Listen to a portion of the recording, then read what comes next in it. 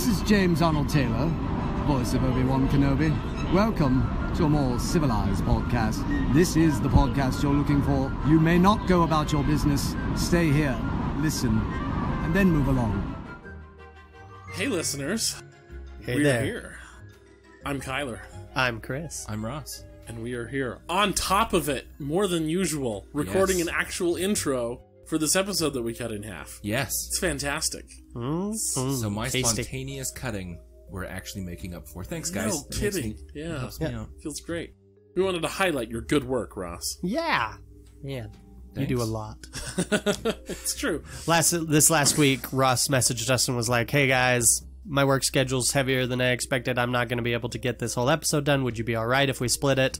And I had this moment of like, "Oh, maybe we could." Ha-. No, no, we really couldn't. Like, there's absolutely jack all that skills. Kyler and I can Yeah. do to help Ross with this editing. We are completely at his mercy. Well, there was one thing we could do to help him, which was agree to cut the Yeah, yeah, which is which is what what we did.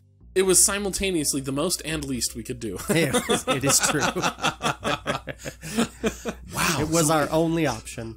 Does this mean like you can It's check new off levels the- of adequacy, I think, doing the most and the least Yeah. simultaneously. Can you check off being in two places at once? We're in two states of, of being. Yeah, we're, we're Schrodinger's podcasters. oh Nice. boy!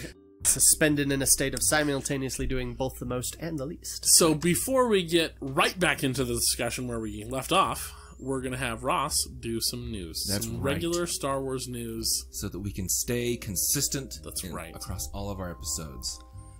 Meaning, we're going and doing some newsy news, not some regular news. I almost thought he was going to let you get away with it. I nice. know! That was nice for us. You thought I missed it, but you were wrong. Ugh. Anyway, so to start us off, we have pivotal, vital information for all of you. I'm so excited for There, this. there, there has been an announcement, a very special Oh, announcement that I'm sure you've all been waiting for. Yeah, I because the the demand for this could not have been higher. Exactly. I mean, it's it's been absolutely uh, colossal. Yeah, the clamor is deafening for this product. Star Wars is now doing a branded set of Barbies. Star Warbies or Starbies. Star, Yeah. Star Warbies. Star Warbies, I like that. Oh, Uh, now here's the thing. I thought Leia already had like an official Barbie. not an official Barbie.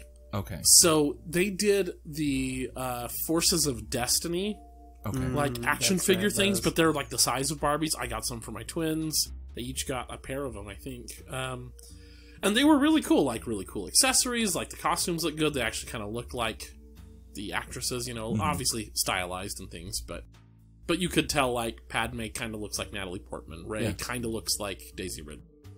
Um, And now that you mention that, I can't believe I forgot this. Carrie has a, a Han Solo in Hoth gear. oh really? Yeah, Barbie sized thing. Oh, But these, So- but these are going to be actual Mattel Barbie brand. Yes, and you can tell it's basically Barbie if she was going to like a nerd prom. yeah. this is Barbie in cosplay. Not even that though. It, like because if you look at the, it's like oh she's in a Darth Vader themed prom dress, hmm. or it like Oh, I see. Yeah. it's so it's not even like that. It's Barbie in cosplay. It's Barbie if she was like I don't know anything about Star Wars. Let me look up some images and then have my dressmaker make me an outfit. Or alternately, Barbie if she was like, I really just. I want to drag Star Wars into more aspects of my life. Can you make me some formal Yeah, wear? or that, yeah, it could be that also. I'll give Barbie the benefit of the doubt that she's cool enough. To Let's not accuse Barbie awesome of being Star a fake geek girl. Yeah, okay. Barbie's been geeking about out about all sorts of geeky things far longer than we have. That's true. So, uh, but yeah, it's but like you can tell it's Barbie. She even has like big thick nerd glasses on one of them that I saw. Oh, really? Yeah, it's pretty silly. Because like I saw, I'm like Barbie Star Wars. I'm like I gotta see this. I gotta see what this is. Now, I didn't actually look through this article, but are they actually doing anything to like change the Barbie, or is this No, literally just new no, it, accessories? that's what I'm saying. It looks like Barbie. it wouldn't Yeah. really on be the Barbie night that if she got yeah. dressed up for a nerd prom. well, didn't they? Didn't they have a big dramatic thing a while ago where they actually changed? Ah, yeah, I guess there was. They were introducing various Barbies of shapes and sizes. Let me pull up a picture that's here true. for you because it's Forgot it's just that. it's regular Barbie but in Star Wars themed clothes. Mm-hmm. Um, Wow. Okay. I'm kind of digging the R2 because that I mean that that you could see a cosplayer doing that R2 costume. Oh yeah. That Vader though is very. Cool. Eh, I was thinking more like dominatrix. like I said, Ross is pretty cool. I'm just kidding. There's all types. but you see what I mean, though. Like it is the Barbie, Barbie Hmm. in Star Wars clothes. Yeah. but not So- costumes from the movies. Yeah. Uh, I, I just. It looks like there is little face paint for two of those. One Yeah. Vader has like a black mask thing on, and Yeah. It looked like sunglasses square to me. sun- like, or something. Yeah, Yeah. goggles Is that what or it does? something. Yeah. So these are currently available for pre-order on Amazon. Will officially start shipping on November 18th. They come with a price tag of a 100 bucks a piece. Holy crap! but that apparently hasn't stopped anyone because they have already made it into the top 20 of the retail giant's best-selling dolls. So apparently, Holy yes, there was quite a demand for these. Wow, I take back my mockery. I guess. Apparently, there was clamor. I just didn't hear it. Wow. Okay. Well, and you know what? I wonder if this is also. I don't know if this is just me, but uh, doesn't it feel like there are more women that are admitting to Star Wars love? There, yeah, the the proportion. It, it- actually, if you pick just about any geeky fandom, the proportions are generally roughly equal between men and women these days. Yeah. Um, often, like with, uh, I know with Comic Con attendance this year, it's actually disproportionately female. Really? Yes. That's awesome. Yeah. So, I think it was like fifty-five percent. I don't remember the exact And number, but actually, that's now that you mention happening, it, I think it was probably equal, if not slightly edging out in favor of the ladies at Gen Con as Yeah. well. Yep. As I kind of try to figure, like, or remember how many of each I saw. Yep. And also, we're also neglecting like these are Barbies. That doesn't mean it's women buying them. Like, Yeah, that's true. I'm sure there's plenty of dudes buying those. Well, and like if That's I fair. Well, like I if don't I were Rancho Obi Wan, like I would feel compelled to get these just to add to the collection Yeah. of Star Wars memorabilia. You know, But for you, so you do a lot more of like the toys and memorabilia than we do. Yes. Are you planning on picking any of these up, or would absolutely you? not. I mean, if it wasn't a hundred dollars, would you still? If it was a twenty buck Barbie, if it were if it were something my girls were interested in, I would get it even if it were a hundred. But that would the be for twins, them, yeah. yeah, but the twins just aren't. Right. Even with the much cooler and like more actiony, you know, like force or uh, forces of destiny ones, like they still just weren't. The twins just are not very girly. because I'm wondering if maybe a lot and of this Alessia might too be young, so more adult women, kind of trying to catch up on the years they may have lost and not having these options to them. That is also possible. So I'm, I'm sure it ends up just being you know a, a, a bookshelf. Well, maybe, but- but like even my wife who had to because her family is not nerdy at all, be a closeted nerd growing up. Mhm. I don't even think she would want these. I mean, I, I guess Yeah. we could ask her. She's downstairs, but I don't think this is something that she would want. So I don't know. I mean, Chris is gonna go ask. they might be gone to the pool already. Or was, was Christina going to go to the pool? I think so. Oh, they did. Were they gone? Yeah, they might have all gone Oh, to the shoot. pool now. Darn it. That would have been When awesome. they get back, we'll ask. we should we'll ask and like I can It- cut in uh, another addendum. yeah, fine, awesome. so yeah, I don't know. I mean, obvious.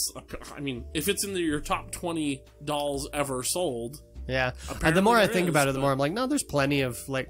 There's little girls who are going to want to play this, play with these. There are no longer little girls who will want them for nostalgia purposes or to play with these, Yeah. or want them for their children because hey, maybe my children will want them. There are plenty of dudes that might want to play with them, kids that want to. My boys would play with those, sure. They, you know, those would just go in the stack with all the other action figures and get played Yeah. with in the same way. And there's uh, there's the hardcore collectors that have to have everything. And then there's the kind of creepy dudes that just want a sexy Star Wars lady on their shelf. And that's that's a pretty wide range. yeah, It's true.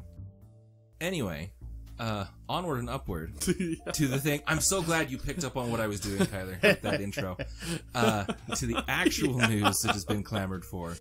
This week, there has been a massive, massive internet push about the rumors surrounding Ewan McGregor being courted for a Obi Wan Disney Plus series. hmm So we've heard these rumors many Yeah, times. Yeah, they've been like for like a year. Yeah. There's been Well, no, these these have been Well- popping up since yeah since Right, Disney so landed the since, franchise. But yeah, so since Disney got it, like there have been rumors like this would be really cool. But I would say in the last year there was like a really big push of like, Yeah. please make this happen. Yeah. the Ewan rumors have definitely even- been accelerating. Yeah, and even Ewan McGregor in the last year has been like, I'd be really okay doing this. Like Mm-hmm. that would be something that I want to do.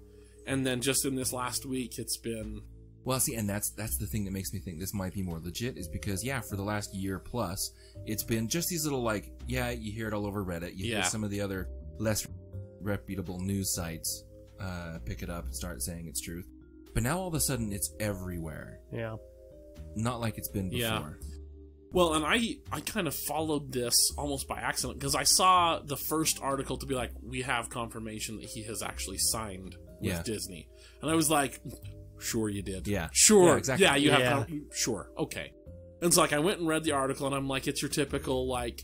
We have a source. We can't reveal who it is because they will absolutely be fired. Right. But trust us, this is legit. And I was like, well, this does sound a little bit more because the other ones in the past would be like, well, we heard, hmm but they didn't like they didn't go to the effort of making it be like no guys for reals this is a thing and then over the next like two or three days you had reputable source after reputable like major like magazines and news outlets being like we've also got in contact and also can't reveal but yeah this is a thing Yeah. so it's more than likely we're going to see an Yeah. announcement probably at d23 like chris was saying before the show No, that was Russ. Yeah, oh, that's oh was it oh sorry Yeah. I don't even know Um, what D twenty three is. it's it's basically like Disney Con. it's I mean, Disney Con. Oh, okay, Yeah, cool. Yeah. Where they just it's Yeah. like Disney saying this is everything we're doing. Yeah. What the 23 ha- means, I have no idea. Uh, it's oh, it's uh oh, fetch. I used It's the to number know of major media companies that they've bought out. And it. taken over. yeah. No, it has something to do with like Mickey Mouse or something like that. Like it because there's like Club Twenty Three at Disney and stuff like that. So it's like a significant number for the company. Oh. It's a Um, progress report on the number of senators they've bought out in their effort to rewrite U.S. copyright law so that they don't lose the right to Exactly. Mickey Mouse. Yeah. yes, it is. Uh, let's be real, Chris. Twenty three is the number uh, that they have left to buy. but uh, please don't sue us, Disney. Um, Yeah. we're, we're only joking. It's all satire. We don't mean a word of it. But if you Allegedly bought senators. if you wanted to buy us too, hey, we can. I was for talking. sale. I was talking to some friends about this the other day because I always love to. I always love to imagine that like this board meeting that went on in Disney back when they were like, "Oh crap, our our contract is going to end with Pixar. We don't get along with Pixar. They're going to go to someone else for their distribution from now on, and that's a huge chunk of our money." What do we do? And then there's some guy in the back with his feet up in a Hawaiian shirt, smoking a cigar. That's just like, folks, okay, hear me out why don't we just buy them? Right? I mean, we can afford it. They're publicly traded. Let's just buy the whole company. And everyone looked around and went, Well, yeah. Is there, is there a reason we couldn't do that? I don't think there is a reason. Yeah, we could do that. Let's just do that. and then a couple years later, they're like, All right, this is going well. We own Pixar and everything. It's like, but you know, kind of struggling for content lately. What do we want to do? Like, Pirates of the Caribbean was big. National Treasure wasn't bad. We'd really like to get out some more action, live action heavy franchises for kind of the teenage to young adult crowd. And someone's just like, guys, guys, let's just buy Marvel. It's the same guy. Same guy. Yeah, Same guy. It's like, whoa, Yeah. everybody. And they're like, what is it? Let's just buy Marvel. Marvel, Marvel made their own studio company. They don't really know what they're doing. I mean, they're doing a good job of it, but it's not like they're the experts we are. Let's just buy them, buy it out. It's like buy Marvel Studios. No, no, buy Marvel, the entire company. Yeah, we could do that. A couple years later, they're they're having a meeting and and they're just like, "This is working really well. What else can we buy?" Room goes silent. Everyone looks at this guy. He's just Hawaiian like- shirt guy. pulls that cigar out of his mouth, raises one hand. Star Wars. and everyone goes, you can't. Could we afford that? Do you think Lucas sell? Do you think Lucas, Lucas would would sell? It's like that. Lucas sell. Do you know how much money we have, everybody? I got a check here. And I was like, well, let's yeah, let's have someone approach George. Let's let's do this. Boom. Four billion dollars later, they own Star Wars. Another meeting a bit later, it's like, all right, man, this Marvel thing is taking off. But there is no way we can buy. There's no way we can buy Fox. Like that would be too expensive. Buy it. It's like, dude, I know it's what. Buy it. It's like we can't afford. Buy it. it's like, all right, we put in a bid. It is fifty-four billion dollars. It's ridiculous. Guys, we just got outbid. I don't care. Buy it. Turns out Hawaiian shirt guy's Satan. so now and then and so we're I think we're about, you know, 10 years away from guys, we're to lose our copyright on Mickey Mouse. I mean, we've got some contingencies in plan. We've we've copyrighted the ears separate from Mickey Mouse, so until that runs out, nobody can actually use Mickey Mouse anywhere because we can sue them for having his ears on his head. But what you know, what are we to do? And just like Let's buy the government. It's like you, you want to bribe Senate? No, Let's buy Let's it. just wholesale Buy it. buy the U.S. government. They're What's crazy their debt in right now? debt. We can afford that. Let's just buy the U.S. government. yeah. So we're about we're about ten years away from Disney owning the the country. I think. So. You know what? I'm game. I'm really not. Disney's pretty draconian. Uh, yeah. Remember the tale of Darth Moose the Avaricious. Well, That's true. I mean, talk about draconian. We just had to re renew Carrie's student loan repayment plan. She had to fax it. I hate that. That's excellent. Th- It won't get better when Disney and they, it. It, it, they wouldn't let you email. I mean, uh, Yeah. Yep. so Anyway, that was a fun tangent. that was a good tangent. That was a good tangent. So- and with that, So we'll we'll report back when we actually have Kathleen Kennedy or Bob Iger saying, "Yep, this is a thing." Yeah, but this is- until then, rest assured, it's probably happening. It'll be a mini series on Disney Plus. Yeah, Chris is. I don't want it to happen, out. but you know, I can always just not watch, watch it it. again after it happens. So. Yeah. I mean, I'm gonna watch it the first time. Let's be honest. I was gonna say I, I can't. I have to watch it. Yeah. yeah, I know, right? I'm I'm legally compelled at this. I'll point to watch probably it. listen, wait for some reviews, and then decide based on that whether or not I'm going to watch it quickly or not. Well, and we're also doing this podcast, so there's good odds I'll just watch it for the podcast one way or the other. But normally my approach would be like, let's see what reviews it gets, and after seeing what a couple reviewers say about it, I might go, you know what? Let's give it a year to just like distance myself. I have one more piece of news that I forgot to put on here, so I'm just gonna throw it in here because it's kind of relevant. okay.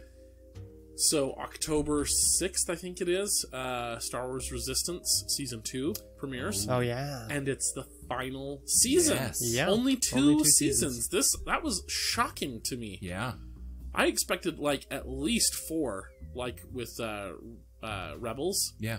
because I mean Dave Filoni. I mean, so here's the thing: in Dave, I trust.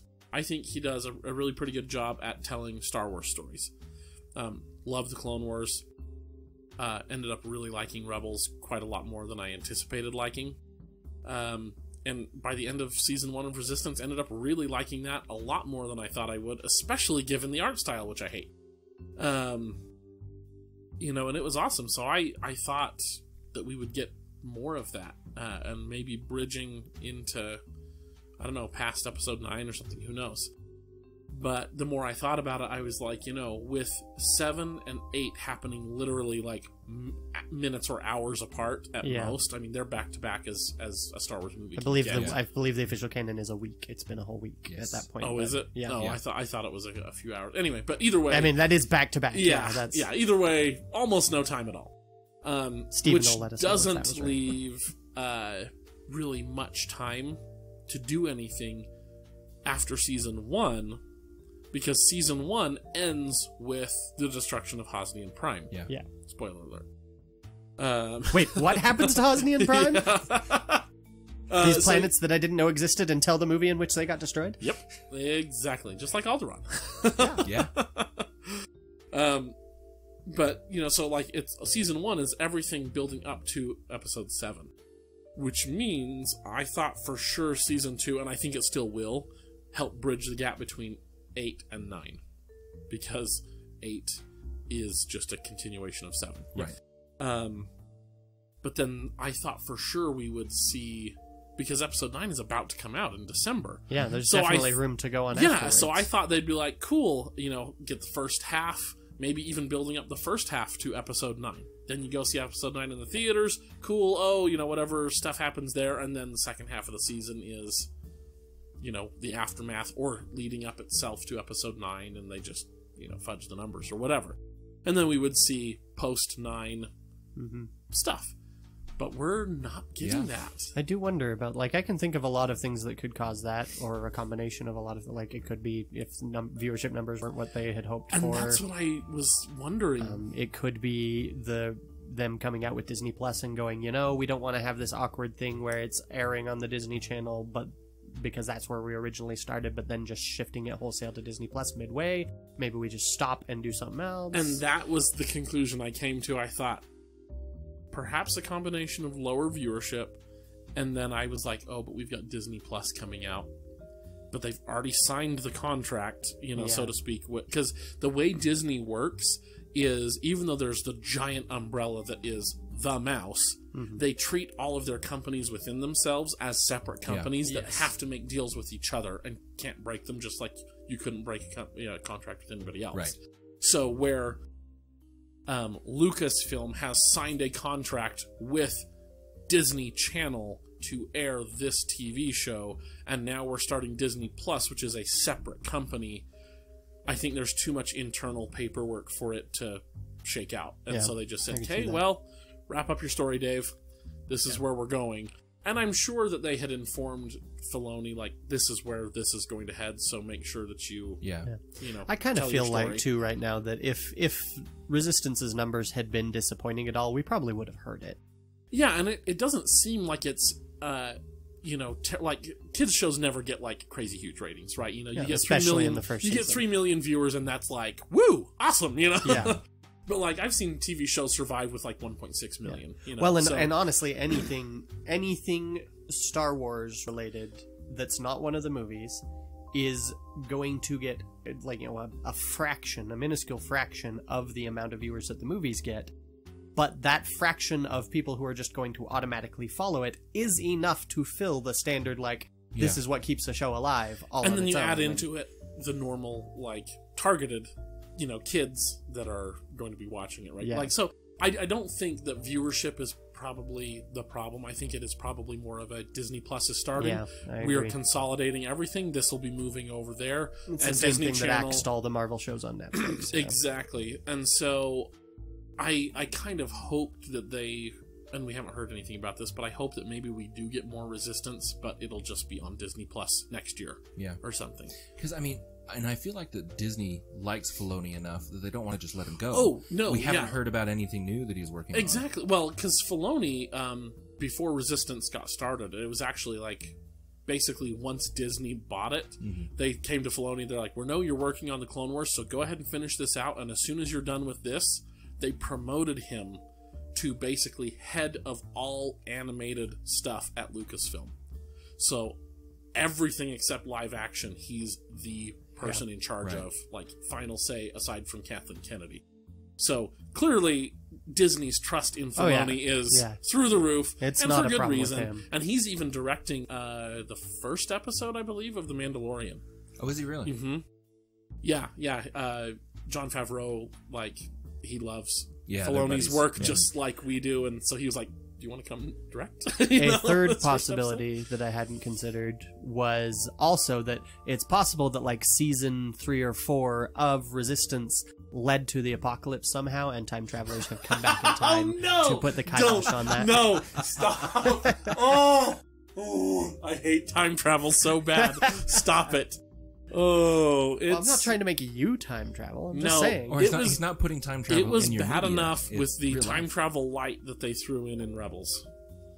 I Season haven't seen four of so- Rebels, there's like some light time travel, and Yoda's basically like, "These are just windows. You don't get to go through and touch anything." Yeah, that's a good restriction. And I was to like, "Oh, thank heavens! yeah, Thank you, thank that's a little thank too you. Star Well, until he does. Yeah. until he does. But I was like, "Ugh, okay, fine, whatever. Like she makes it. This is just how she makes it. So it didn't like mess up the continuity any.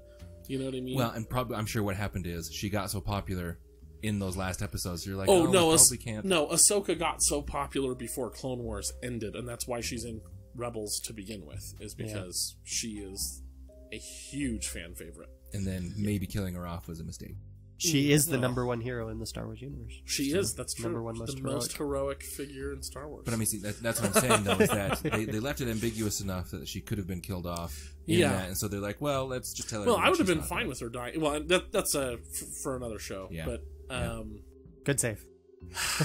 I want to. I want to have that discussion, but we'll save it for another Hmm. show. But anyway, we'll end the news here and return you to your regularly scheduled program. In other words, take it away past us. Hey! So let's we're going to delve into now the Star Wars movies in particular and how they have used death, where they've used it well, where they maybe didn't use it as well as they could have, and maybe what they could do in the future that we might like to see from their deaths. And whether or not they need to step up more deaths. Like again, they don't need to be Game of Thrones, but so episode 4, we have Owen and Beru, we have Alderaan and everyone on it. Obi-Wan people. Yes. Obi Wan and Tarkin et al. You know, with the rest of the Death Star. Those are, I think, those, uh, like this was all off the top of my head that I wrote down, but I think that's every death of any significance in A New Hope. Um, then we have Empire Strikes Back. We have Dax, uh, Luke's gunner, Oh, yeah. and that's basically it for that movie. In episode four. Oh, Biggs in episode four. Thank you. I forgot that one. That's a good one. Yeah. Biggs in episode four um, definitely counts. And and of course Porkins. How could we forget Porkins? Wait, and you know what? I don't feel as much for for Dax as a lot of those X-wing pilots in The New Hope. yep. And and uh, I would argue that most of the X-wing p- pilots in New Hope are not badly done, but not very well done. Mm-hmm. Biggs, though, I would say stands out as one that's better done. Yeah, because he's mentioned before. He's clearly got a relationship with Luke that we see, and Yeah. so Mm-hmm. Yeah.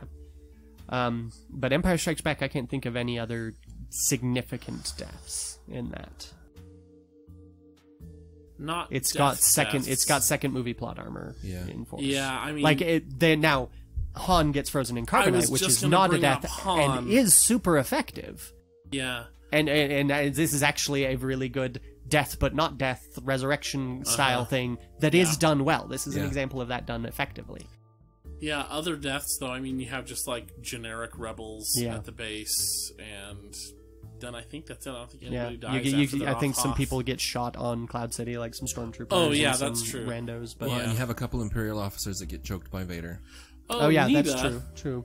Um, Which that Needa would almost dies. veer into the humorous territory. Yeah. like this is Vader being bad. It is too, especially because after he chokes Needa, he's like, you know, apology accepted, Captain Needa, and it's kind of Yeah. like, oh snap. but you know what? Though? See, that's the thing is, is I think you can take it humorously, but I think it also establishes Vader as a ruthless. Yeah, that's one I forgot. The the kick the puppy trope. Like we're gonna show the villain being evil. the kick the puppy trope. It yes, has a name. It has a name.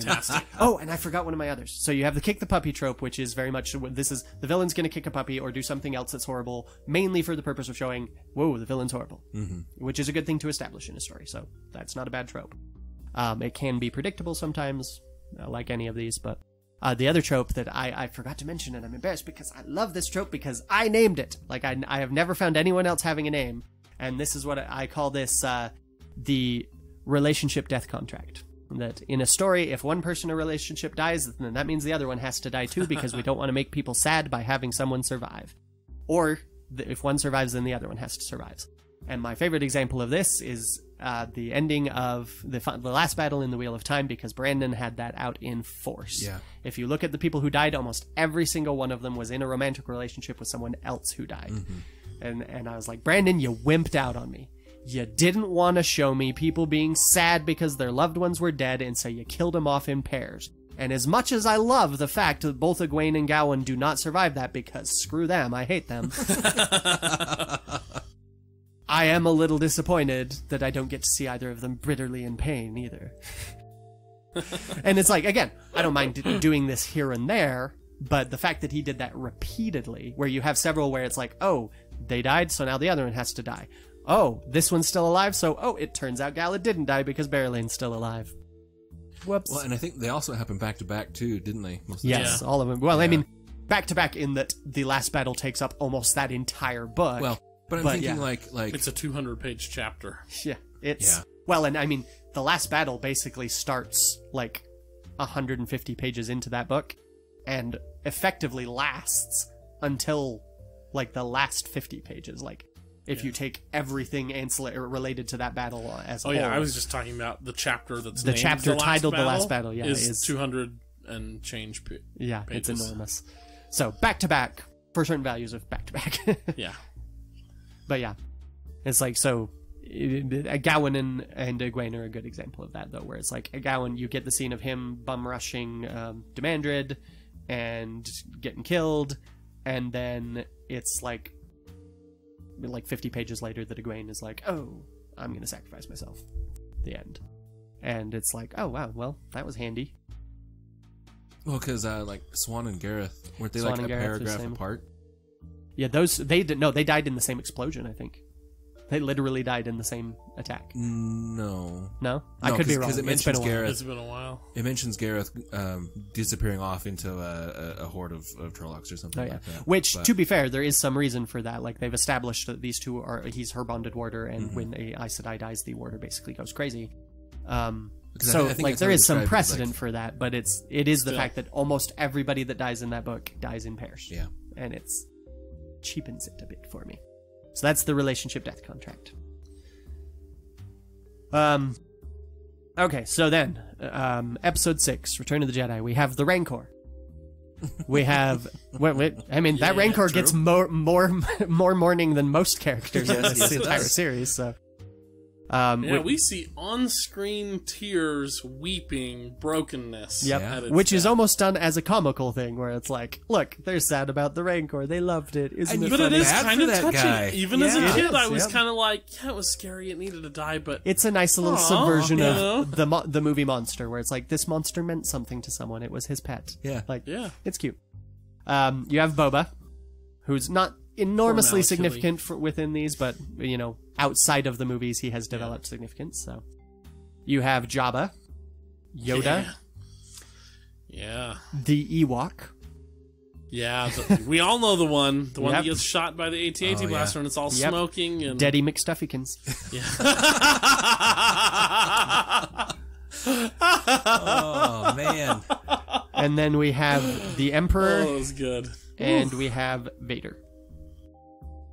I mean, and, and there are there are some others like we do see uh, the A wing impacting and uh, taking out Admiral Piet. Is that there? And But we don't know who that is. Fine. yeah, but it's not it's not hugely important. None of those deaths are in very consequential, so I didn't really Yeah. list them. Um, so that's the original trilogy. In the prequels, we have very few. In Episode One, we have the racers that we mentioned, and then we have Qui Gon. And, Qui-Gon. and did you go? Oh, and through Darth Maul. I forgot Darth Maul. Did we see how many of those racers actually died? Because I'm, I can think of. No, we'll go through that in another episode. But Yeah.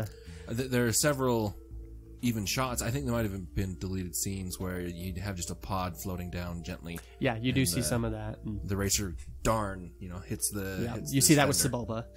Sebulba does that. Mawhonic does that, I believe, in a deleted scene. Yeah, so not even all of these die. Oh, and then what's also Quadranero? Ben Quadranero does the same thing. Oh yeah, He's where his yeah because his four engines go off. zooming Yeah. off and Yeah. yeah, yep. Um, so yeah, Racers, Qui Gon, and Darth Maul. That's it for episode one- one. Episode two has Zam Wesell, which is very much the obstacle type death. It's like, Yeah. oh crap, they're dead now. We can't interrogate them. We have Shmi, which is far more significant. Um, whether or not it's well done significance, we can debate in a moment. But we have the various monsters in the arena, which I listed. At first, I was like, no, they're just monsters. They're but then I was like, no. Basically, every single one of those deaths is given its own little moment of emphasis and screen time. Like, yeah, I'm gonna keep those on. Jango. And Jango was next. Yep, Jango definitely gets some, and that's about it. Still disappointed we don't see his head fall out of his helmet. Well, that was that would have been hilarious. Uh, like Boba, oh, sad dad touches his forehead. Plop. Way too dark. way, way too dark. not Star Wars brand of Oh. humor. It's my brand of humor. That Mine hilarious. Ross is just shaking his head in disappointment. I mean, I probably would have laughed, but I'm a little ashamed. Uh, That sort of- that sort of we approve. To quote Roy from Order of the Stick, your, Your, approval, fills me with shame. All right. Then we get episode three. We start off strong with Dooku, Mm-hmm. and then we get Grievous, the Jedi, and then as a separate entry on the subcategory, the Younglings. oh yeah. Yep. and then we get the Separatist leaders and Padme. Yeah. So then, jumping to the sequel trilogy, what we have of it so far in Force Awakens, we get Finn's friend at the beginning, Mm-hmm. but don't know don't know his number designation. I'm sure Steven will tell us. But uh, that is given a surprising amount of weight for a death in Star Wars, especially for a stormtrooper death. Yeah, spe- Yeah. and I think that is what makes it so heavy is the fact that it's a stormtrooper who you are specifically not supposed to care about. Yep. And so it's like it, it's an impactful death anyway, but then the fact And that it's um, I will also just mention that it's done effectively enough that I forgot to put on my list the entire village that they were busily slaughtering at that moment. Oh yeah, Like, yeah. Lor San Tekka. We have lore. Yeah, sure. I'm sure he He's has the a old name. man. Yeah, I know who he is, Yeah. but I'm just. this is one He's in there like- with Pilot. Yeah, sure, this he is has a name. Explorer. yeah. Um, but yeah, like the village gets slaughtered. That is significant in establishing our villain's villainy. Um, but I, I totally forgot it under the effectiveness of nameless stormtrooper's death, which is pretty awesome in its own way. And then almost nothing for the rest of the movie until Han Solo. Mm-hmm. I'm debating if I should make Steven mad and look up the stormtrooper right now. I won't, Steven. I'll let you do your job. I won't pull a Ross.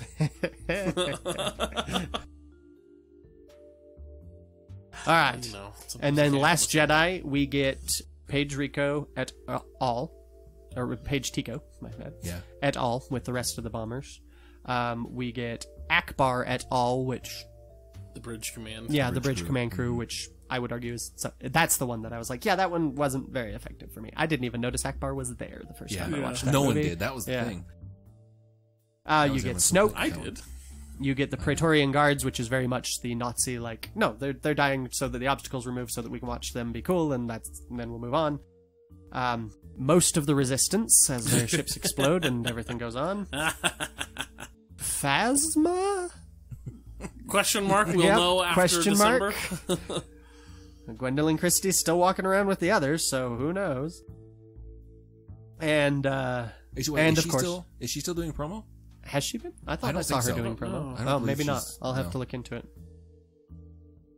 Steven, let us know if she's still doing promo. Um, We're putting you to work, Steven. that's right. Hashtag sorry, not sorry. And of course, Luke. And then uh, Rogue One, we get. Uh,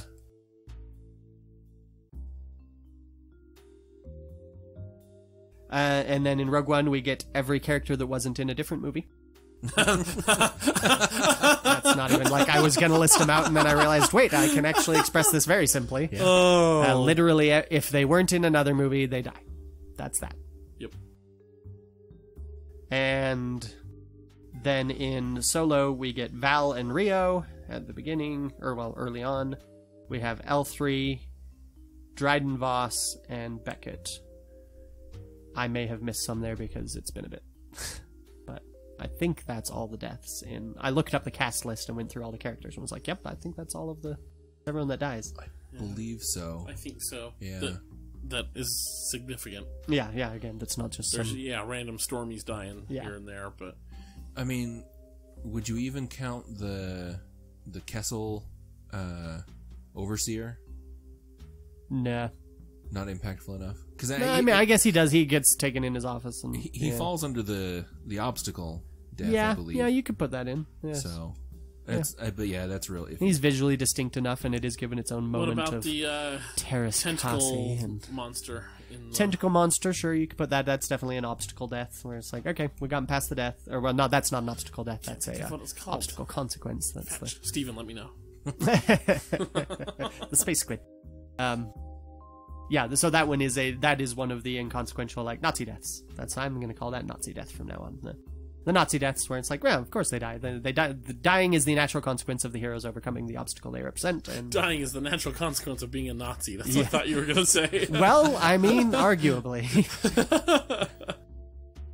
death is definitely the natural consequence of Nazism. So, ew. Ouch. yeah, I went there. Bringing it real. All right, so that that is every death in the Star Wars movies. So we we get plenty of non-consequential obs, you know, the Nazi deaths, and that's fine. Like I don't think that that I don't think that Squid Creatures deaths or any of these others are poorly done.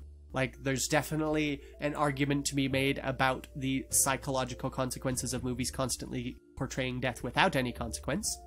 Yeah, that's fair. Sure, yeah. Yeah, Um, for sure. I also don't think that every movie needs to delve into the consequences of wanton death left and right. In you know, it's an action movie. Um, although one example I do like of this I recently read was the Omega Men. The End is Here by is a comic. It's a Green Lantern or rather a White Lantern comic by um, Tom King that DC put out, and that one is that one is like the opposite of Star Wars. Like the the whole point of this is holy crap, war is horrible. All these deaths are horrible. Everybody who's doing this is becoming horrible because of it. Ouch, pain, owie. I'm gonna go cry now. And and it's really well done. I don't necessarily recommend it to everyone because it is a weighty read, but it is it is solid. It's really great. Star Wars doesn't need to be that. Like there's a lot of people that like to talk about, oh, Star Wars is like it has no consequence and Finn you know, we start out with this stormtrooper's death and then he just goes to slaughtering stormtroopers left and right without consequence. I would have liked a little more Yeah. awareness from Finn if we're going to start that way. But again, it's not a horrible thing. It's Star Wars.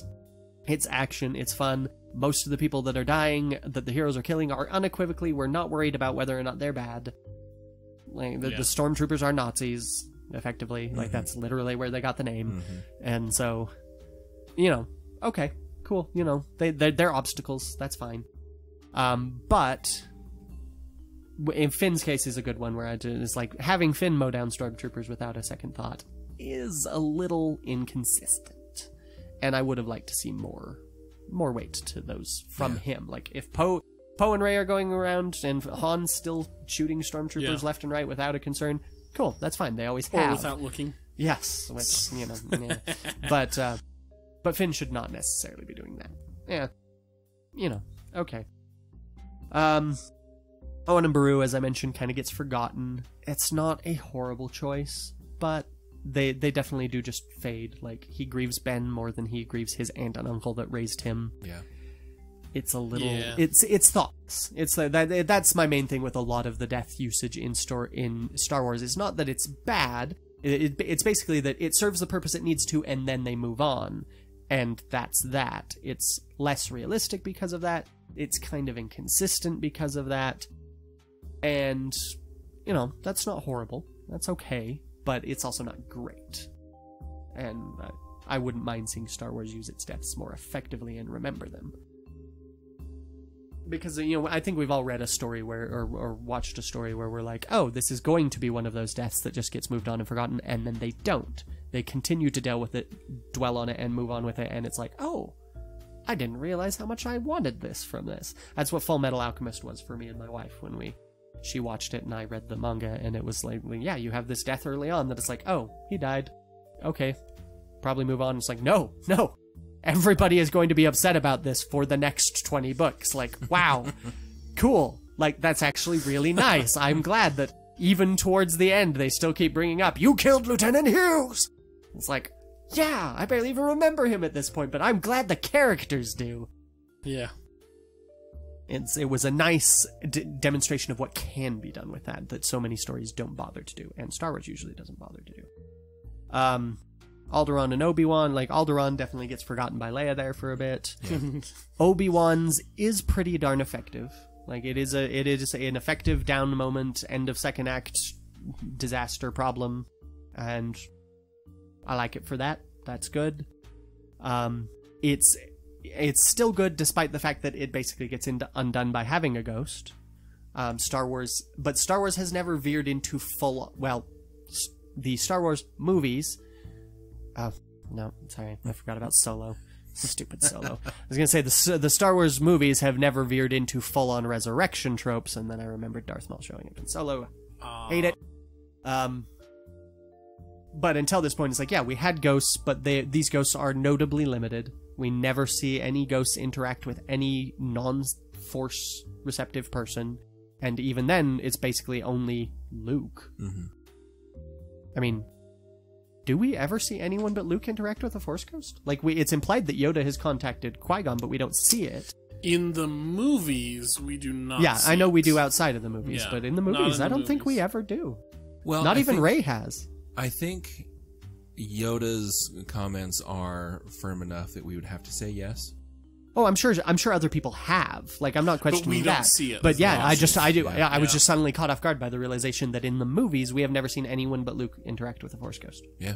Well, and we've only ever seen Obi Wan as a Force Ghost. Oh no, Well, that's that's Obi Wan and Yoda with Yoda and- and Anakin. uh, Yoda can- and Anakin at the end of Return of the Jedi, and then Yoda again in Episode Eight. Yeah, But yeah, maybe it's- crazy. I'm sure we'll see Rey interact with some Force, or maybe Kylo. I, I really, I really just want Luke to haunt Kylo in Episode Nine, like just keep showing up, and Kylo be like, "Go away!" And he's like, "Nope, I'm dead. What are you gonna do, sucker?" Stab me again. Worked just oh wait, well you did didn't do time. it last time. yeah, that'd be fun. um, but yeah, so so despite the fact that Obi Wan does come back, it's still car- his death still carries some weight because he hasn't fully come back. Like Mm-hmm. he has a limited ability to interact with the world. He is still clearly, and he's never coming back Oh. for real. No, we do have one interaction between Yoda and Obi Wan as Luke is leaving. Oh, that's right, we do. Obi Wan There sticks we go. Okay, That's right. Yeah. Solid. Thanks, Russ. there we go. Good. Took me a minute, but we got there. All right, so it's nice to have that moment to know that these aren't just figments of Luke's imagination. Unless Yoda was Unless Yoda always is a figment, well, I mean- even before he died. Has anyone else ever met Yoda? Post. Not anyone living. Yeah, maybe Yoda got killed by the Emperor, guys. Holy, well, he does ride on Luke's. Well, but if Luke's schizophrenic enough, like if it's it's if it's a vivid enough illusion. Maybe. Whoa, guys, guys, new fan theory. we got the sixth sense here. I like this one still better than most. Okay. Um, then Tarkin's death at the end is not a poorly done villain dies at the end. Like, yeah, cool. Yeah. Vader survives, which allows us to carry on the threat, and Tarkin gives us the like the. It's a bit predictable in the sense of like, yeah, villain has to die in order for the bad guys to win. I don't mind it here because, I mean, it works. Uh, That's my problem with Krennic in Rogue One is that it's like, no, he's only here so that we can do that because we we don't dare have a story where the villain doesn't die and that that bothers me. But Tarkin dying at the end is basically part of the good job, heroes. You achieved it. Here's your reward. Tarkin's dead, yeah. which is a morbid reward. But um, Dak's is largely just a stakes raiser. Like it's just like, oh, somebody died. Oh no, Luke almost died. Now it's going to be more difficult. We can't use our gun. It's not poorly done as far as those go. Yeah. It's not spectacular. It's there. Um, the Rancor we've already mentioned is surprisingly surprisingly tender. Boba's largely inconsequential. Sadly. Yes. Jabba is more consequential. Like it's it is a, definitely a payoff. Yeah, I was just gonna Yeah, say it's a a- good payoff with his death. Yeah, I, I didn't really even delve into deaths as payoffs. So that this is definitely a thing. Death can be a payoff. This here's your reward, hero. You get to kill the bad guy. Yay! rid the world of someone you hate, or you know that deserves to die, because hate is the path to the dark side. I mean, Um, uh, Yoda, who dies because his mentor service has been fulfilled, and oh, sad except day. that he was already di- dead. So this is just Luke acknowledging that he doesn't need to be here anymore. This is this is Luke finally recovering. This from is his Luke. mental illness. Yeah, this is Luke. Let no. This is This he's is still he's still got the mental acceptance illness. They still show up at the end Oh, of that's the. right. That's right. This is just this is just Luke. The only reason he's been holding on to the idea of Yoda being alive is because he needs to become a Jedi, and Yoda needs to be the one to do that. So once Yoda tells him, "Now you're there, you just need to go deal with Vader," then he doesn't need Yoda anymore, and Yoda fades away. Literally just disappears. I love it. I love this so much. Uh, yeah. But yeah, the Yoda's death is not ineffective. And in the, I think the most effective thing about Yoda's death is it removes the possibility of help for Luke. Basically, it's like Luke is now officially on his own. Like he has his friends and everything, but he is the one responsible for dealing with the problem now. He does not have Obi Wan to help him. He does not have Yoda. He's the last. And there is another Skywalker, but she's not consequential to these movies. So You know, and the first time Luke sees a Force ghost, he's been battered and beaten by a Wampa. Mm-hmm. He's suffering from exposure. I think there's a real, real possibility here. Luke And broke that's- down, had a mental why- breakdown in the Wampa. That's why Yoda and Obi Wan uh, have their talk. Is this is just Luke's delusions? Yeah. this is all in Luke's head. And there's like, wait, did they say there's another? Not just mentally blocking that out. That's just him coping with his grief over losing the girl to the other guy. It's like, oh, she's my sister. I can't have her anyway. That makes me feel better about not getting her. It's not that she chose someone else. she couldn't choose me. Yeah, it's that she couldn't choose me. There you go. Wow. Oh man, this keeps getting worse. Star Wars become a the whole evidence new is story. piling up. So you could even say though, maybe this is his madness at having seen his aunt and uncle crispified. Ooh, maybe. The whole thing. There was never any battle station. Uh, that's a bit much. 'Cause Luke and Han, like everybody sees the battle station. But all of the Does important- he really? Uh, he'd have to be imagining this entire. But think he meets he meets Han and Chewie after seeing that. The only person that's still grounded he is met Ben. He met Ben before that though, and Ben interacts with Han and Chewie more than he does. Maybe he never actually went to Mos Eisley. Uh, so this is all a big dream. He's gonna wake up and have to go clean moisture evaporators. no, he's gonna wake up dying next to his aunt and uncle's burned corpse. no, no, I think we can safely say the rebellion does exist. The Death Star did exist, and Luke. Well, that would explain why nobody was concerned about the uh, huge loss of life that the de- destruction of the Death Star represented. Yeah. Uh, uh, Or the fact that the this is even worse than the Death Star was an inside job conspiracy. wow. okay, so then we have the Ewok death. We have Deddy McStuffykins. Um, that one's pretty darn effective, right? Yeah. Everybody, yeah. That's you know we've all we've all discussed. that If they kill one of these, E- they make we watch one of these Ewoks die. It's gonna be horrible. And they did, then they did. and yeah, it was pretty brutal. Yeah, And it's all because of his friend. yeah, yeah. His friend. It's because his friend's reaction. It's Yeah. because this death has weight, and we get to see it have weight, like we don't with the racer. We never see anyone grieving over the racers, so it's never really real because we all know that that is the most real consequence of death for everyone who survives is grief Mm-hmm. and pain and all that. And so when we see his friend reacting and realizing it's real and his friend is dead, it hits hits, hard. yep. Not just because they're cute little teddy bears going through this, but that doesn't hurt. Well, I mean, it does hurt. It hurts hard, but it does not hurt the effectiveness of the scene. And again, that's a stakes raising. It's like we're showing creatures that we care about dying. Um, we, we don't hugely worry about the others, but it does raise it. It's not quite wash levels of third act. Oh my gosh, Yeah. people can die. Yeah. But it does establish that hey, this is happening. Like this is scary. And then we have the Emperor, who is kind of you know it's like all right, yeah, this is the final obstacle.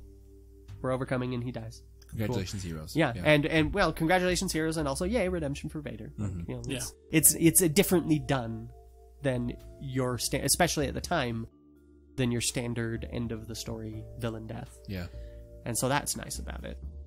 And then we get Vader's redemption equals death because there's no way we can actually reintegrate Vader into any sort of society at this point, and we don't have time to factor that into this movie anyway. So Mhm. as opposed to that awful Star Wars Infinities comic where he survives and turns to the light side to Oh, yeah. save his, His white kids, armor. and then shows up in white armor, and it's like, yeah, sure, I'm sure the Rebellion and the New Republic are just going to be so thrilled with Vader just walking around. I'm a good guy now. See, I'm dressed in white. Obviously, no one evil has ever dressed all in white with white masks. Man, Chris going political in this episode. Dang. We don't even have to go political. Look at the Star Wars universe. Yeah. The stormtroopers all dressed in white. also, I don't feel like masks. it's overly political to say like the Yeah. KKK is bad. Yeah, right. We, no, no. our podcast is willing to take that difficult stance. the KKK is bad. yeah, I don't think we're gonna experience too much pushback from that. Yeah, and if we do, well, You're welcome. To you're not welcome listen. to not listen. Yes. uh, okay, so racers largely inconsequential. We've really we've pretty much gone through that. Qui Gon. I feel like is not the most effective mentor death ever done. Like it is some grief at the end where it's like, oh no, there's a consequence to us winning here, which is good to have. Like that is good to have some consequence to this win because otherwise it is entirely without any consequence. Um, I mean, there's not even like, I mean, we lose some Neimoidians, I guess that's about it. and Some Gungans, but nobody misses any Gungans not being around. Um, so Not even the other Gungans if we're talking about Jar Jar. yeah, they've already gotten rid of him once. uh, but y- yeah, like so, it's good to have some consequences at the end. So that is an effective use of death in that sense. As far as meaningful to characters, I mean, it does motivate Obi Wan to be like, no, I am gonna, I am gonna take him on as a apprentice because it was Qui Gon's wish. It's okay. It would be better if it weren't for the fact that motivations in the prequel trilogy are just all over the place, flippy floppy, Yeah. all the time, so it, it's hard to argue that any of these are really effective as motivational tools. Um, but, you know, not without consequence. That's good. Um, and Darth Maul is, you know, kind of a end of the movie, villain gets beaten. It's even when it's like afterwards we realized we really should have kept him around because he was really handy. Like, he should have been our Vader getting knocked in a ship spinning off. And we didn't do that, and well, crap. Not even the inestimable Christopher Lee can quite carry that much menace. Yeah. But so that that is a less consequential death, where it's just like, eh, yeah, he dies because this is where he dies. Cool. You know, I guess it's an obstacle in the sense that now we don't get to interrogate him and find out: Are you really Sith? Are there more Sith? Yeah. Always two there are. But uh, Zam Wesell, eh, yeah. yeah, it's a, it's a, it's a it's an obstacle for them to overcome. Uh, Shmi, Shmi Skywalker, not an inconsequential death, like both within the larger framework and as far as impact it has on the audience and the characters. but not as much punch as it should have, I think. I Yeah. agree. Yeah, um, I feel like they could have done a lot better to show us more of Shmi. Um, yeah. like I don't think it would have been that bad to have her just like calling Coruscant to check in on her son. Like, yeah, for reals. like especially because like maybe if he's doing it behind the Jedi Order's back, he's not supposed to be doing this because it's emotional attachment, and he's doing it anyway. Yeah. it's Anakin. We can have him do that. Yeah, that's literally his shtick. Yeah, that's and it's and it's it's not like it would be out of place in this movie that builds up to him slaughtering an entire village because they killed his mother. Like, if we have him going behind people's back, we can establish that he's not supposed to be doing this. This emotional attachment has some negative connotations here, and it leads it to would some have very made his negative fall to the dark side a lot more real, I think, and impactful itself. If, As far as the choice goes to kill her in that manner, that's a solid storytelling choice, Yeah. but it definitely could have been set up and used more effectively. Um, I will I will say though that they do as far as hitting the right notes as far as consistency goes like he brings her back like we get to see him mourn over her. And her death continues to have consequence especially once we get to episode 3 and we see him having visually similar dreams about Padme as he had of his his mother and we can instantly make the connection that he's afraid of this happening again. Like it resonates through the entire trilogy so that's nice. Um just could have been done better um the monsters in the arena which again let's like yeah these are obstacles like hey good job heroes you get to kill the things now mm-hmm. you get to take them down. Jango is kind of a weird mix of that, where it's like, oh, yep, he gets taken out now because it's the end of the movie, and a, oh, look what we're setting up. We'll get the reference. Now Boba's gonna become a bad guy because his dad got killed. Not By that he wouldn't have big become a bad guy when he was being raised by a morally dubious bad guy anyway. Yeah. Uh, but sure, okay. That's motivation, I guess. We care. But I mean, Thunk. but that is just a little bit of a moment. Seeing It, it's not a bad mean, moment. yeah. That that moment as a self-contained moment, pretty solid. Yeah, I'll, I'll allow that definitely. For uh, um, Boba's reaction to his father's death is real. It just Mm-hmm. Doesn't matter except as, ooh, look, it's a setup for something from the other movies, sort of that didn't really need a setup. And it's like if it had a consequence, if he showed up in Episode three, you know, it'd only be three years later, so that wouldn't have worked that well. But hey, we could have fiddled with that time. Whatevs. But if he, yeah, if he had showed up again within this trilogy, then it would have been more meaningful. Where it's like, oh, okay, this has an, a meaningful impact. As it is, it's more just, hey, here, have some, have some uh, Easter eggs, nerds. Um, Dooku's death. I don't know how I feel about Dooku's death. Like, on the one hand, I like how unexpected it was. That it was like, hey, very beginning, we're not even, we're barely into the first act. This is just the opening action, and we're killing off Dooku. It's like, oh, Yeah. oh, I did not see that coming. So th- I always appreciate that. If you can, if you can catch me off guard, I appreciate that Yeah. more often than not. Like, there, there's, you know, there's a spectrum there. Jump scares just get annoying, but Yeah. but yeah, if you can catch me off guard with something I didn't see coming, then that's nice.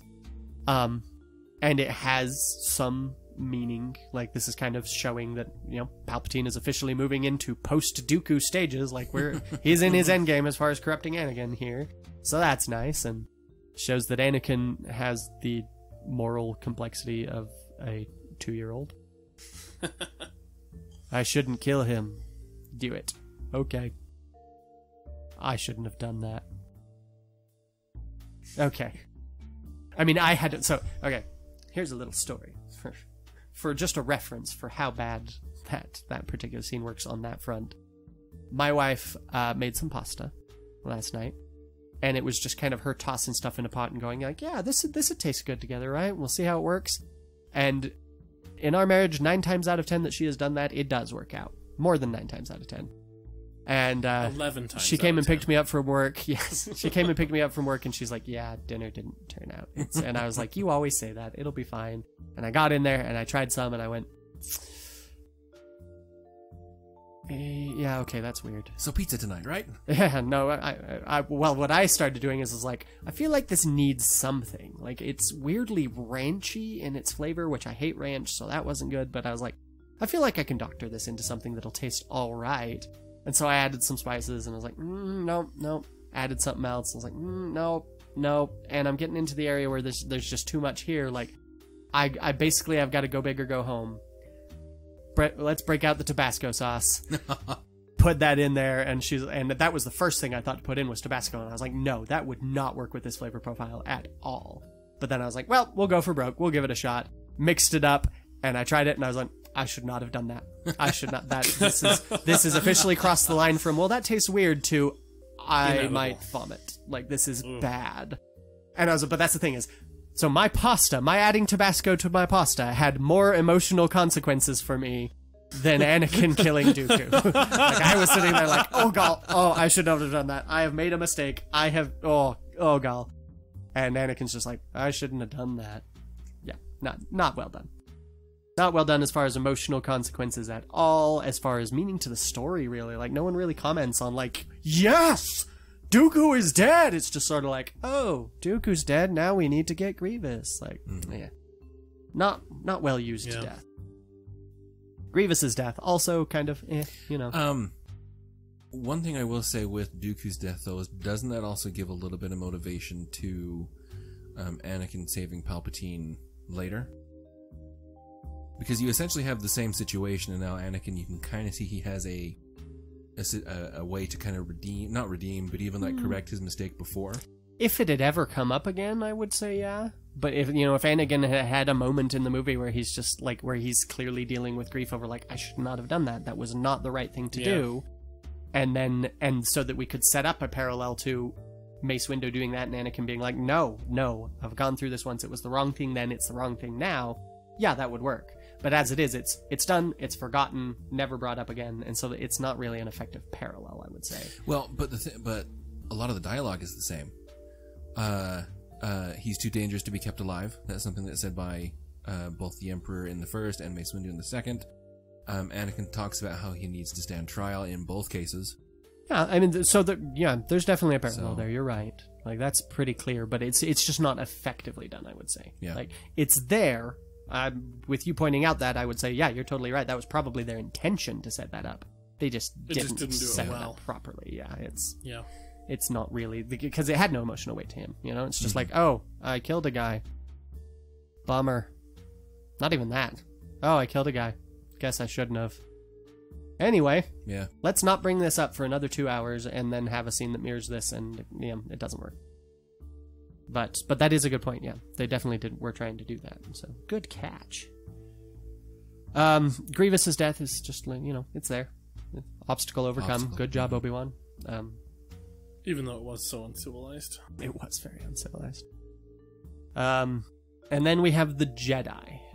So this is one of those of I would say mixed effectiveness, where it it's kind of like um, it's kind of like uh, Chirrut's walking across the sand for me, whereas like that moment is emotionally effective of oh my gosh look he's doing this and everything but i think it's largely effective as a self-contained thing with the music and proper dramatic cues and framing all setting this up as look how dramatic this moment is because you know once i st- stepped back and thought about it i was like that was literally the least impressive thing he's done this whole movie. Like why that doesn't really work. It doesn't make sense. Why couldn't he just do this?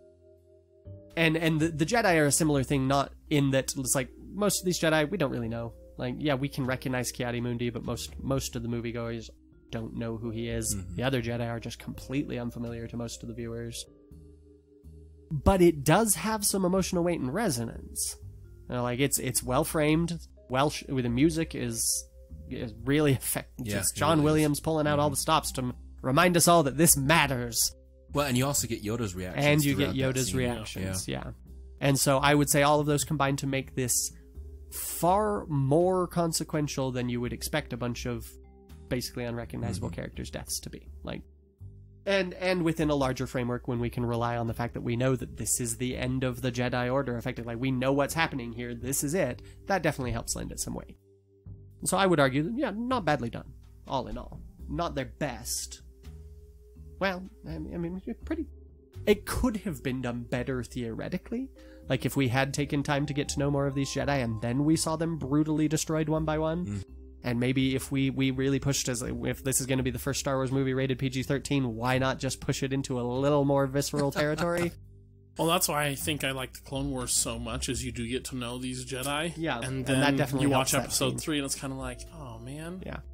like Aayla Secura, like I've watched you and Bly do missions together, Yeah. and now he's gunning you down under a flower. Yeah. See, and I, I would compare it to like, well, I mean, I mean, just at least in the visuals of it, like I was talking with um, Stranger Things season two. So here's some spoilers for that. Um, Sean Astin's death in that, where part of what makes that so effective is that they do not flinch away. Like the camera does not cut. Yeah. You see him torn down, and then you see him just like Torn bitten into, and yeah. torn to pieces, and it's it's grotesque. Like it, and it's visceral and just like oh, this is painful and horrible. And so when season three starts and Joyce is still having nightmares about this and having trouble moving on from this and everything, it's like, yeah, Yeah. I don't blame you. Yeah. It's been longer for me than you, and I'm still not over it, and I wasn't dating the man. Like, dang. dang, that's effective. Yeah, so, whereas I would argue that some of the deaths at the end of season three, mm, not quite as effective, despite one I of feel them. like that- I need to watch Stranger Things. Yes, you do. it's pretty solid, yeah. I, li- I like Stranger Things. It's a shame you haven't. But yeah, I tried watching a couple episodes and it just. But hey, gruesome death though that'll get me in there. yeah, that's if you want if you want to watch uh, Samwise Gamgee get brutally murdered, then Well, and if if gore is your thing, season three is for you. oh yeah, season three has some solid body I horror. saw like body rats horror. exploding Yeah. and stuff. You have what? I saw like rats exploding. Yes. and stuff. Yes. And then people, melting. Cool. Yeah. Yeah. it's it gets pretty Yeah. pretty body horror. Ugh. Um, but yeah, um, so that's what it's like with.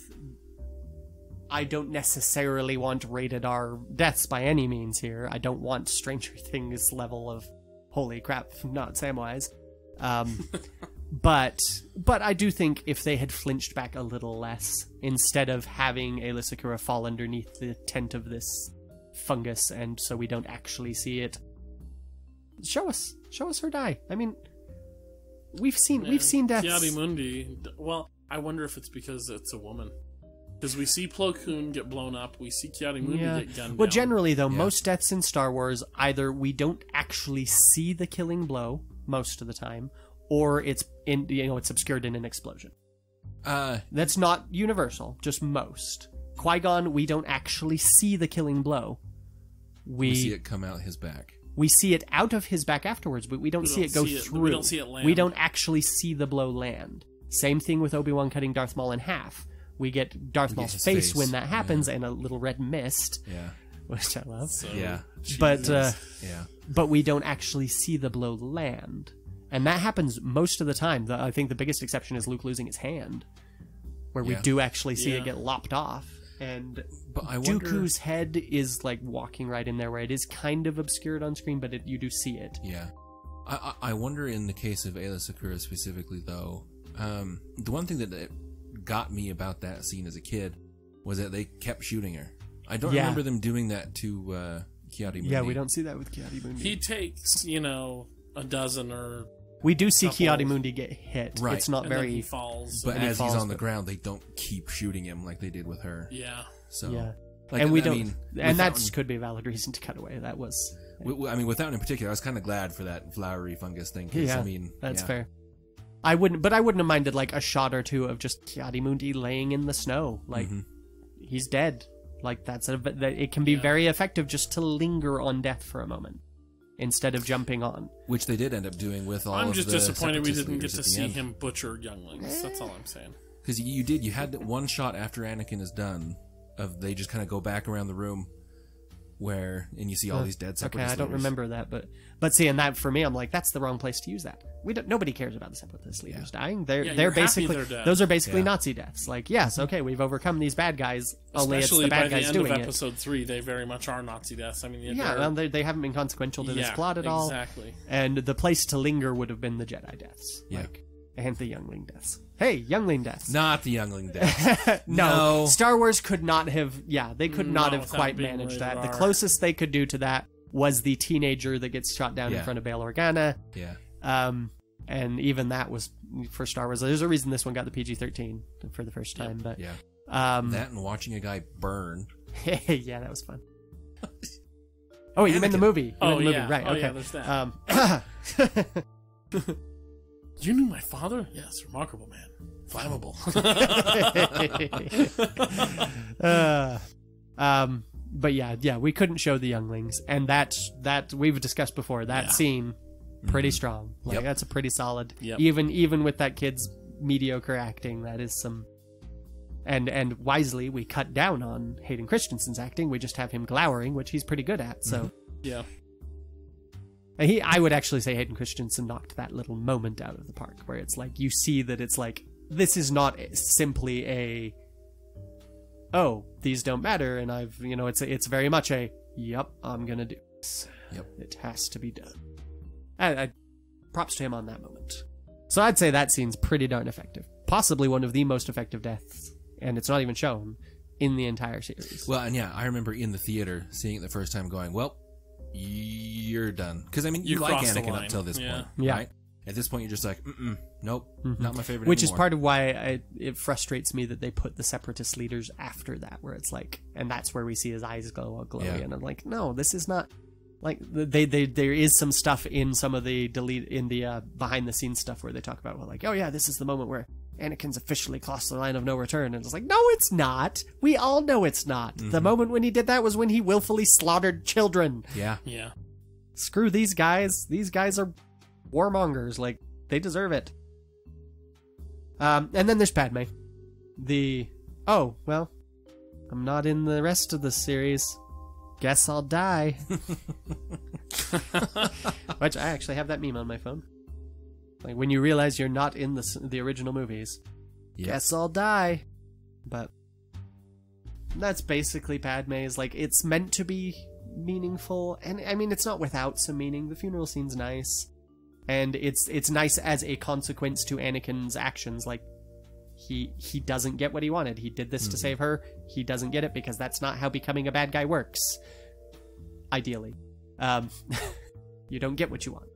But um, so it is nice for all of those reasons. As far as the impact it should have had to kill off a main character who was beloved by the main, by the other main character and for whom saving her life was the most important thing, it should have been a lot more impactful. Yeah.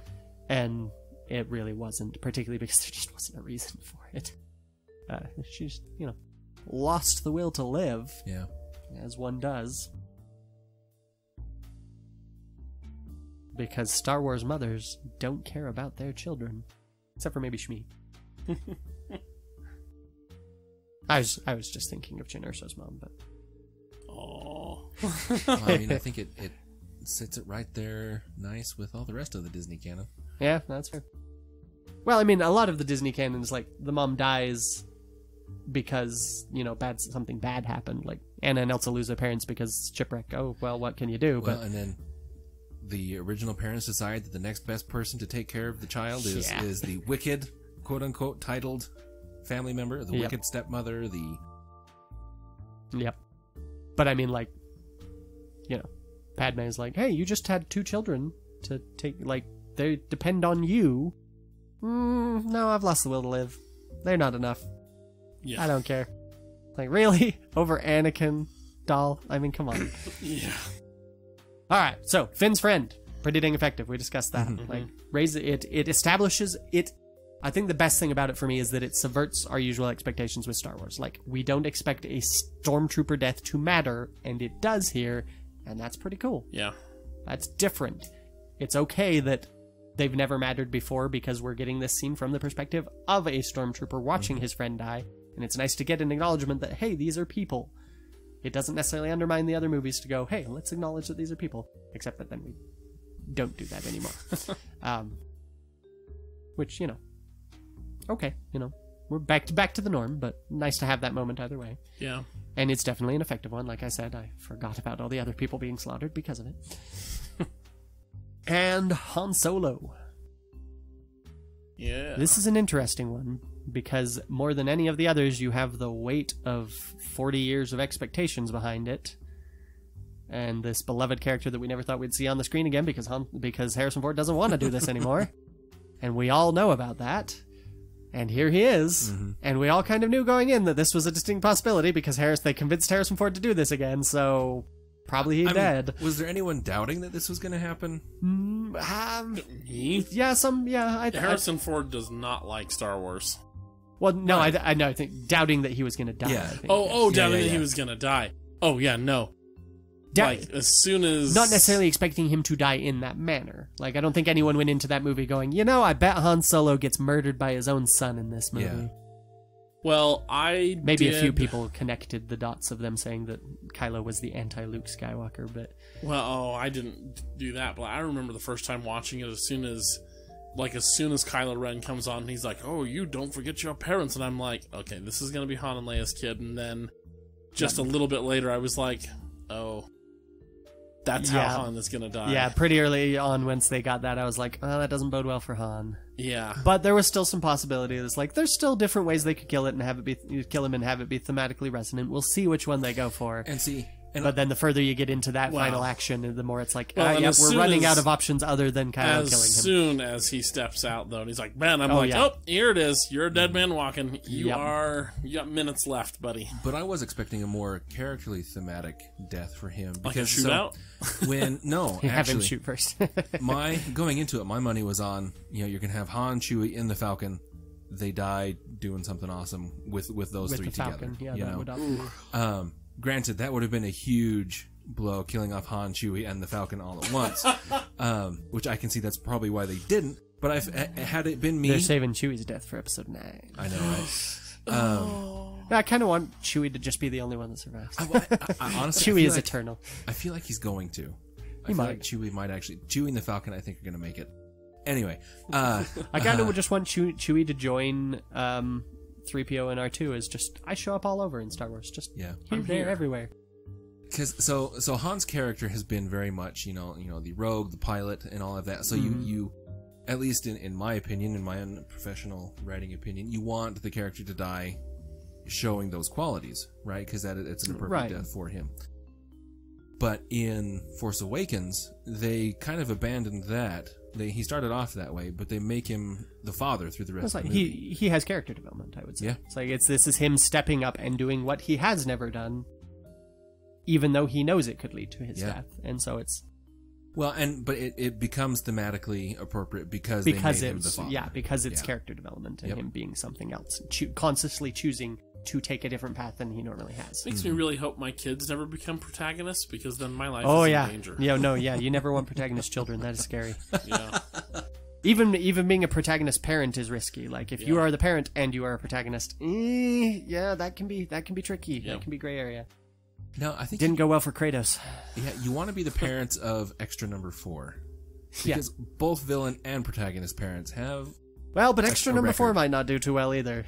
Not if he becomes stormtrooper number four. But That is Well, true. but see, then you just have to deal with the loss of a child rather than the parent dying. Anyway, yeah, yeah. we digress. Okay. Um, but yeah, Han, I would say it's it's hard to divest the effectiveness of Han's death from the weight of the years of loving the character. hmm But uh, yeah. Doing my best to do that, I still feel like it's a pretty effectively done. Well, I think so. And but even again, as as we've just been saying, he is now the parent, and he dies probably you know performing Yeah. the ultimate act of parenthood of till trying to love his son through Exactly. trial. He we there's definitely significant meaning on his personal level here. There's also thematic res- meaning in the movie where this is like we're specifically subverting the the story that we've seen before of redeeming the good guy. We're the bad guy. We're not doing that here. The bad guy is going to consciously choose to be badder. And the the light closing off as it does that and everything. It's all really really and well effect done. on Rey. I mean, Yep, an effect on Rey and not Chewie though. He's cool. Um, I mean, he doesn't need a hug or anything. He does shoot Kylo, so there's that. yeah. He gets pissed off for a minute and then is like, "Well, I'm I was sad, but now I'm good." Or at least nobody cares about his pain. yeah, He hides his pain behind a wall of fur. I'm sure he, He probably went to go visit with the other you know bounty hunters and scoundrels because they actually acknowledge him. Yeah. That's basically it. I mean, it's really Beckett has acknowledged him. There's not many other people that have ever done that. Beckett and Vos. Oh wait, both those guys died. Yeah. So He's got that nobody Chewie's got left. nobody. Maybe that's why Chewie never gets close to people. the only people who acknowledge him die, and so he's just like, nope, standoffish, don't talk to me. And that's why nobody acknowledges him, is because it's him trying to save people's lives. Anyone who gets close to him dies. Man, fan, new fan Yeah. theories left and right. we have This had such great. great fan fiction in this episode. Chewie's poor, tortured existence, keeping ah, people at, kidding. at arm's length because of the curse placed upon him as a child, and Yeah. anyone he gets close to will die. That's also why he leaves all the people in the Kessel, all the his people in the Kessel Run at Kessel Mines is because he's like, no, no, if I go with you, you'll die. I'm going to go with this idiot. and then that idiot just proved to be lucky enough to stay alive, and he was like, maybe, maybe, the there's time has come. And for years, it was. He was happy. And then Kylo Ren came. Before the dark times. times before Kylo Kylo Ren. Ren. And now he's hanging out with Rey. Well, sort of. He, he's around Rey, but he's not really hanging with Rey. yeah, it's not quite the same. We'll see. Not yet. Episode 9. Yep. Rey's dead. Chewie lives. Nope. Curse continues. Rey and Rey and Chewie are in a relationship and they die together. That's who Rey ends up with. You ever been Okay. spooned by a Wookiee or whatever? uh, so Paige Paige Tico's death. Uh, we discussed not very effective for you, Kyler. Yeah. Pretty effective for me. I like it again, part, partly just because this is something Star Wars hasn't doesn't done before. We're going to focus in a pretty dramatic way on the fact that lives are being lost left and right here, mm-hmm. and you know it's like the the Death Star run in the first one is like, yeah, lives are being lost left and right. Well, that ups the stakes. We got to try even harder, guys. And then afterwards, yay, we're all happy. None of those deaths have any consequence Yeah. you know, we mourn Biggs briefly, and then we're done. And, and not that that was a bad choice there, but it is it is definitely a shift in a tone for Star Wars to go, hey, people are dying, and it was bad, and Yep. it was like they're just like they achieved their goal, and it really wasn't worth it. Like sometimes that's not a good choice. I like that. Um, and I I I definitely had trouble connecting Rose's grief to Paige, and uh, so that it could have been more effective for me, but I do like having that. Ackbar et al. Meh. Yeah. This is this is mainly this is mainly a dramatic moment because we think Leia's dying, Mhm. and then she doesn't, and so Well, and they they didn't point out exactly who was dying in this scene. Again, you, you see Yeah. Ackbar kind of in the background, you know. Yeah. Well, and, and part of the reason for that is because the purpose of this scene is setting up the threat to Leia and Yeah. and also removing Leia from the plot for a while so that we can have our whole mutiny and all that. Uh, and giving Kylo a moment to pause. And yeah, and showing Kylo pause like it's serving a lot of story purposes. Lingering on the deaths of the higher resistance leaders was not the point of the story here. Yeah. So I don't necessarily fault them for choosing not to. But come on, Ackbar deserved better. Yeah. yeah, I agree.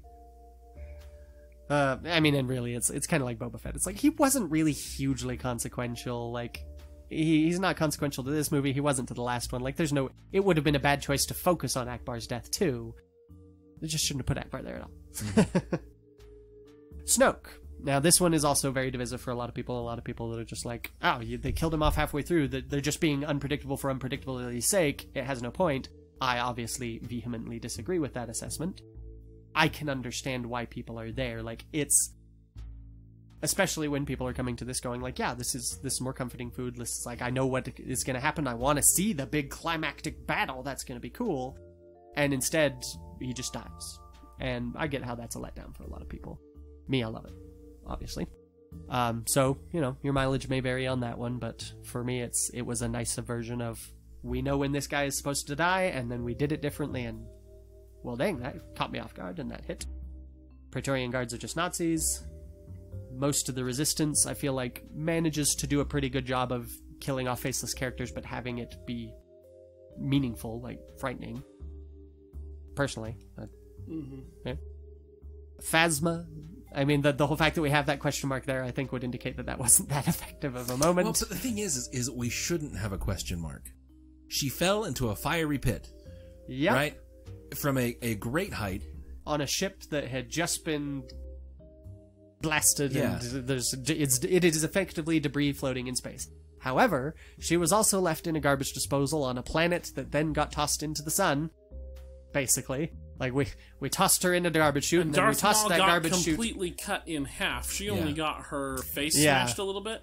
Darth Maul got completely cut in half and fell down a bottomless pit Yeah. and lived. So But it's it's one of those where it's like I put we, we we put her in a garbage chute and then we blew the garbage chute up and here she is. Here she is. And I'm okay with that, honestly. I just think it's funny at this point. I'm just like, yeah, sure. I, I kind of want her to be in episode 9 just for the amusement of she's still here. But see, okay, so here's the thing, though, is that in She's when a they put her in a, a garbage for real. compactor, we didn't see it. Right. Well, um, we assume they did because there wasn't any. Yeah. Well, well and, that. and the, the Phasma comic does confirm that, yes, they Yeah. did put her there. Um, but also, it's easy enough in the mind of the viewer without any other comics or anything to be like, oh well, they could have got her out quick enough. We you didn't see the death, Right. so we it might not have happened. And because So I mean, in it's- nine, it's- she's going to show up, and they're going to have to kill her dead. No, in 9, she just has to show up and have scarring. Like, Yeah. yeah, it's plausible enough that she could survive the trash compactor, right? yeah. The falling down a flaming bit of broken ship is a lot harder to understand, even though Yep, yep. people do do it in other type movies and things. But still, It would, no, I We- agree, it would be ludicrous. She should be dead. well, I and that's kind of don't want her to because I think it'd be I'm awesome. with Chris on this. mentally, mentally, I'm with you guys. I feel still feel like she's going to show up, but even though there's nothing in my brain that I can resolve to say that she's alive, I still feel like she's going. to. Yeah. It seems like a high probability thing. Well, remember the ship she's on isn't destroyed. But they were a lot closer Right. to the damage than anything Well, else I- on the ship. Yeah, but Yeah. But- I think the main reason we all feel this way is because it was like she was a cool looking character who got underutilized in the first movie and then tossed in a trash compactor and it was like, well, that was anticlimactic. And then she just showed up, no explanation given in the movie. Yeah. She's just there in The Last Jedi and it's like, oh, really? Oh, okay. So she's here. She is going to have more weight. Nope. She's just here to have a fight and then get beat again. And it's like, wait, what? And I kind of feel like the best way to resolve that appropriately is to do it one more time. just have her show up, no explanation. She just has some scarring, maybe not even that. Kind of want her to still be wearing that helmet, but you can see an eye patch in the gap. they build an eye patch into the helmet. Yeah, yes. and then and then just have her show up, no explanation, get beat one more time, pretty anticlimactically, and then we're done with her. oh, jeez. I think that would be hilarious. Ah, I want it. I want it badly. Please, JJ. All right. And Luke. Yes. So Luke's. I mean, I feel like it's a pretty impactful death, whether you like it or not. It is impactful. It's thematic. Very much so. I was Um, even thinking about that today, actually, before we. Yeah, it's definitely bittersweet. It's this is the kind of bitter death. Oh, I forgot to mention, death, death can also be peaceful. Death can be peaceful in movies. It can be a release. Like, there are definitely stories where it's like, oh, someone dies, and that's okay. They've earned that, you know. Um, so I forgot to mention that because that's definitely a real life thing. Like, you know, by the time my father's mother passed away, it was she. It was long overdue. It was a mm-hmm. release. Like she was so far sunk into Alzheimer's that there was no way to even hold a meaningful conversation in any way or even just interact meaningfully. And it had been that way for a while. they they took her off of all they like she was so close to death that they're just like, you know what? We're not gonna give her a medication anymore. There's no point in prolonging this. We're just taking all her meds away, we're taking all that away and just gonna let her go peacefully. Yeah. She lasted like six months after that. Oh, jeez. This was, and this was all two and a half years after her doctor signed off that she had six months to live, and she got put on hospice. Like Man. the woman, that is my grandmother. Wow. The woman would not die just out of spite. And I love her, and I, but it, but it was a peaceful thing, and so that can definitely be a factor that we haven't really been acknowledging. And I kind of feel like Luke is walking this weird line between like there is some peace to it, and some resolution, and some like yeah, this is good, but it's also like this bittersweet of like no, Luke's gone, he just got to. It's almost a redemption equals death. Now that I think about it, it's like he's it been off the there, path, and he's Yeah. and he's finally stepping up and is like, no, I'm gonna make this better. I'm, you know, it's like he's flat out telling Kylo Ren like, I'll be here for you, Yeah. and then he dies. Cause, well, it's funny though, because uh, I thought it was a great death. Very, I mean, almost poetic with how they, they kind of bookended Yeah. Luke's Oh. I do love that. Um, and that was the thing I, I realized this morning is that so Luke's story starts with Luke looking off into the sunsets, right? Uh, ends the same way with that song, uh, but but also the the two scenes are mirrored Yep. each other. In the first scene, Luke is on the left side of the screen looking to the right. right. Yep. In the last one, he's on the right side of the screen looking left. You know, Yep. so it literally it bookends the entire saga. Yes, sir. So Yep, and I do like it, and and it serves a similar purpose for Rey's story as Yoda's death did for Luke's. Where It's like, okay, now this is on you. Luke's still going to be around helping. We know that he's going to be force ghosting it, and I really want to see him interacting with, making good on his promise to Kylo Ren that he's going to be here. Um, not just as a hilarious haunting, but just like really, he said that, and now he needs to carry through on that. If if the actions of the last movie are going to have any weight. Um, so he's not gone, but it is very much like, okay, he's out. Like he's he's here for support, but that's all. This is on your shoulders now, Rey and everybody else. So that's good. It's like all in all, I'm very happy with that one. so yeah. But it did take me a bit to get there. well, I was gonna say, would you would you say it was an effective death? I would argue yes. I have to be careful with The Last Jedi because I know I have a tendency with The Last Jedi to want it to be good because I've argued so much with people who don't want it to be good. Mm-hmm. And and I've had so many scenarios where I'm like talking to people and they're like like it doesn't work because this doesn't work. It's like, yeah, it does though. Here, let me outline that for you. See how it works. No. and obviously the only reason I'm saying no is because I don't want it to be true.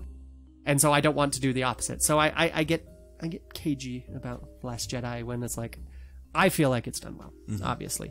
Uh, I I was caught off guard by it at the end and was like, wait, no, what? I don't. Uh, uh, uh, but the more, the further I've gotten from it, the more I'm like, no, no, that was appropriate there. Like this is this is Luke sacrificing his life to save people that matter to him, which is kind of the opposite of what had happened to Anakin. Like Anakin.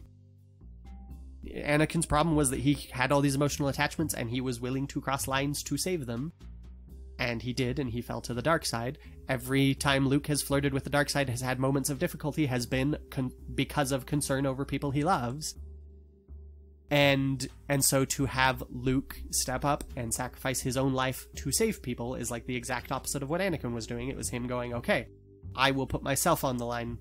That's that's the light side approach to that. It's like you can have emotional attachments. You just make them kill you instead of them like instead of others. Like you know it's it's it's it's a better approach to take and i like that thematically a lot. And and i love like you said the visual book ending of all of it the the uh, audio book ending everything about that is just gorgeous i love it so all in all i give it thumbs up So anthology movies have plenty of deaths too. I mean, but they they all basically fall into similar categories. Like some of the Rogue One ones are more effective, some are less, and I, I mean we've been through most of those. So mm-hmm. all in all, I feel like Star Wars is kind of middle of the road when it comes to how it uses its deaths. There are some pretty so like usually how it's using them is at least well thought out. Like they know why they're killing a character and they kill them generally speaking, they serve that purpose. Whether or not it could have served more purposes, could have been more effective, I think is often they often fall short of what they could have done with them, but they're at least hitting what they want most of the time, if it's not the prequels. Um, and the prequels are more hit or miss, but obviously the prequels are more hit or miss on everything. So, Yeah. um, so so I I don't know. Mainly, I guess when when I got when I got uh, planning this out, I was like, okay, so what do I want from Star Wars in the future? And it's just like, really, I would like to see more more meaningful, wide-arching deaths. I want to see death have more consequence in Star Wars. I don't know if they should do that because I feel like that could potentially be a drastic tonal shift for Star Wars. Yeah. And at the very least, maybe not in Episode Nine, and we can have someone else do that in their own. You know, it's like Benioff and Weiss. yeah, D and D could do it. Rian Johnson definitely could do that, and so there's definitely potential down the road for Star Wars t- for us to get to see this in Star Wars, and I would enjoy that. I don't necessarily I don't necessarily fault the main series though for not delving into that area. Like Rogue One's kind of pushing for that in some ways and undermines it in other ways, but it's like yeah, that's definitely a shift in where we're willing to go with the big screen. Um, personally, I'd like to see more of that though. Yeah. So that's the point. I'd love to see more meaningful death in Star Wars and really see it used effectively. Hmm. Very cool. Yeah. Well, I think that was about as thorough as you can go for the mainline movies and, their deaths. I like to know that my favorite deaths came out okay. Yeah. I'm glad. I'm glad to hear that. Yeah. I was concerned when I was making this list. I was like, well, I hope I don't step on any toes here. Yeah. And I I have done that before where people, where I was like, oh yeah, that death scene just, new, and people are like, excuse me? Like, oh, I'm sorry. It's just like, I cried for weeks after that. I made a pillow out of them that made that looked like them so that I could cuddle it to get over it. And it's like, oh, I'm sorry. This You're is one of those deaths that was real for you. You know, this was your Iron Man death, and sorry, I didn't mean to step on that. But uh, thanks, Chris, for preparing. Why, my pleasure. us. You know, I'm always happy to And, uh, engage in our our podcast. well, I just you don't mean, need to thank me. This was like you know, this was kind of your episode. Well, thank and you. I appreciate so, your- thanks. Uh, be sure to follow us on Twitter at More Civilized, and join our Facebook group, More Civilized Podcast. That both of those things allow us to interact with you, the listeners, a lot more, which we enjoy. We enjoy getting to know you guys, Mm-hmm. so please do that. And this week in particular, Oh, hey. on that note, by the way, all of you Yep. are our very Yeah. favorite and dear listeners. We- so uh, you can also talk with me on Twitter at Mr. underscore R star. Mm-hmm. You can find me on Twitter at itinerant Baxter, and you should hop on Twitter or Facebook and let us know if there are any uh, sub any subjects you'd like to hear us talk about. Anything should Star Wars continue related. doing that. Yeah, 'cause we've continue doing that. Thank you, Mark last Burdett, couple for your recent one. We've had some other great ones as Yeah. well. Those will be coming up in the future.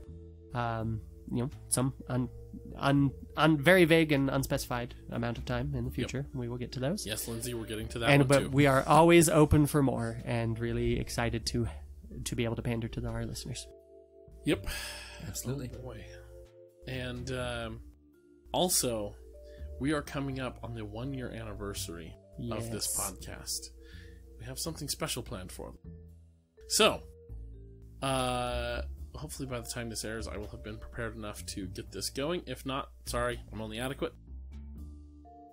But we want to hear like, I don't, the, my goal is I'm gonna do like the little like Google survey thing. Mm-hmm. So I've got to set it up. I was trying to do it on my phone during the episode and it just wasn't working. So Yeah. whatever.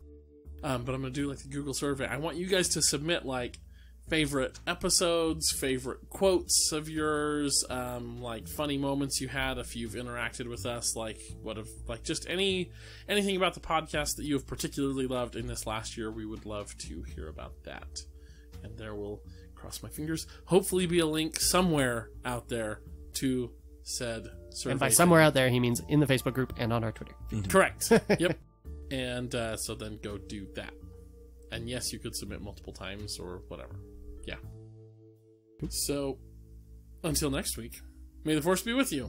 Always. I'm Anna Graves, and thank you for listening to a more civilized podcast.